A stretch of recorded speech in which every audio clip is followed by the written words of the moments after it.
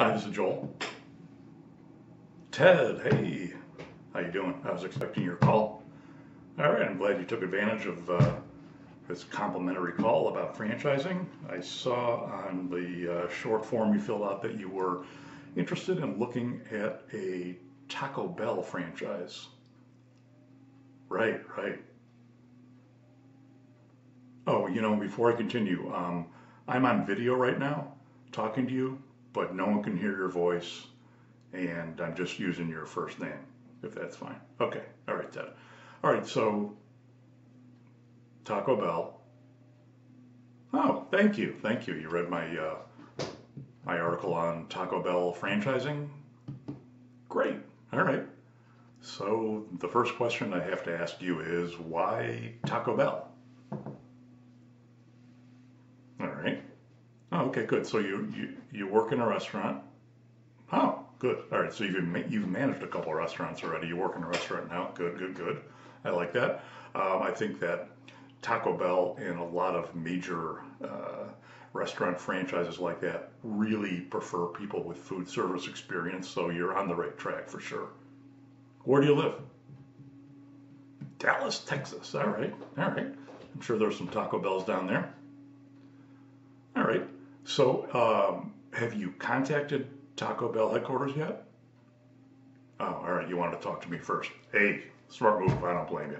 But you know, you can contact them anytime for franchise information. Just fill out their their simple uh, form for uh, you know request request more information about the franchise. So you can do that anytime. You don't need to talk to me first. But all right. So what uh, what's the purpose of your call? What what questions can I answer for you? Aha. Okay. All right. So you have the the typical money questions. Well, you know, as you saw in the article, the investment range. I mean, you're in that million dollar range for a Taco Bell uh, restaurant. You know, the ones that I've seen are freestanding, so it's probably more. All right. So if I can be frank with you, Ted, do you have that kind of money? No. Okay. Well, most people don't have a million dollars laying around, so I understand. Uh, kind of a personal question, but what, uh, w- a quick financial snapshot, what is your net worth? How much liquid do you have? All right, so you have a net worth of 150,000. All right, and liquid, like how much could you write a check for? Hmm. All right. Well, if you can only write a check for like $10,000 and your net worth is um, uh, a all right, a minimum of 100. Okay, so 150 for sure. You've you've you've okay. All right, so it's 150,000. You don't have any like stocks or bonds. Do you have like equity in a house? No, you just bought it. Okay, all right, all right. So your question is, can you buy a Taco Bell with like nothing down? Uh, well, you know, I'm not the CEO uh, uh, of Yum Brands or Taco Bell, so you know the decision is uh, definitely not up to me.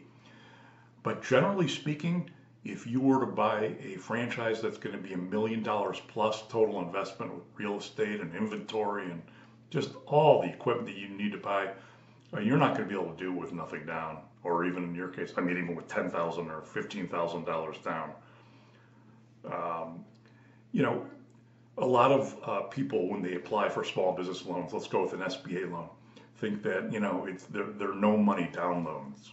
They're not.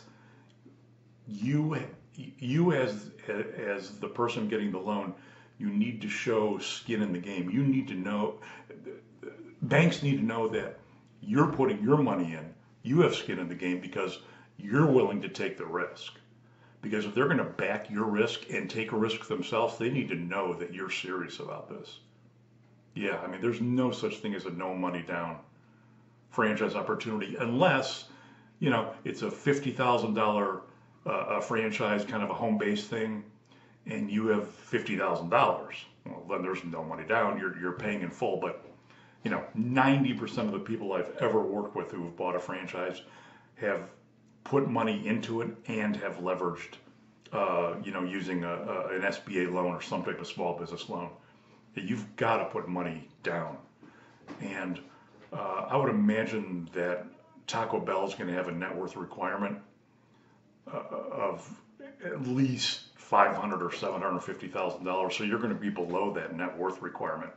But again, um, you know, it's not for me to decide that you cannot, you know, buy a Taco Bell franchise that you cannot qualify for a Taco Bell franchise.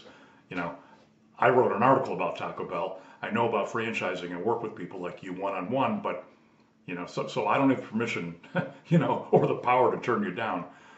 But uh, ah, grants. So many people ask about government grants.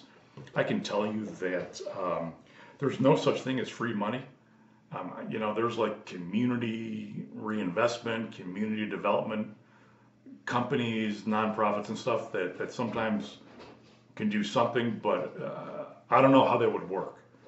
Uh, I really don't. So, you know, you can contact some of the local business leaders. Maybe you can, you know, talk to someone and convince them to, you know, help you with a loan. there's there's other ways to do it, but if you're going to go straight to Taco Bell and say, I want to buy a franchise, here's what I have, and here's why I qualify. I've been a restaurant manager. I've been in the food business for many years. That's great, but you know, it, it's it's going to be a no, just just based on what you're telling me. Okay, you know, I don't I don't want to be buzzkill, Mr. Buzzkill here, uh, but you know, as opposed to telling you something you want to hear, like, oh, sure, you'll be able to do it with no money down, or you'll be able to qualify. You know, the, they'll find a way to put you in business. It, it, you know, unfortunately, it doesn't happen like that. All right, Ted. Yep. All right. Well, thanks for calling. Thanks for reading that article. And, you know, if I can help you in the future with something, please don't hesitate to call and go to thefranchiseking.com for, you know, up to date information on all franchises. All right. Thank you. Thank you. Bye bye. Buying a franchise with no money down is a real tough thing unless it's a real low cost franchise and you're just you know you're just paying cash for it.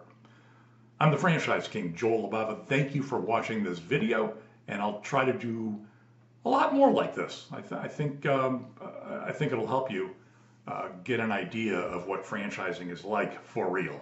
Once again, I'm the franchise king Joel Libava. Thank you for watching.